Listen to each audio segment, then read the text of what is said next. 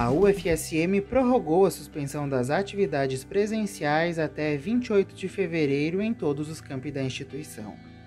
Desde o dia 16 de março, em função da pandemia, a rotina presencial foi interrompida.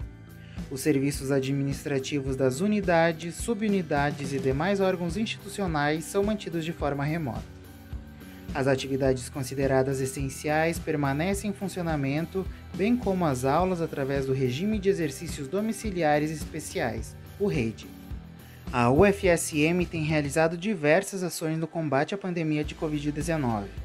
São mais de 60 projetos de pesquisa em andamento, entre eles ações de produção de álcool em gel, implementação de testagem de casos de coronavírus em Santa Maria e Palmeira das Missões, fabricação, resterilização e instruções de uso de EPIs, recuperação e desenvolvimento de respiradores, canais de orientações e atendimento para o diagnóstico da doença, o levantamento de dados para monitorar elementos que levam a transtornos psicológicos no contexto da pandemia, testagem da vacina contra a Covid-19 feita pela Universidade de Oxford da Inglaterra, entre outras.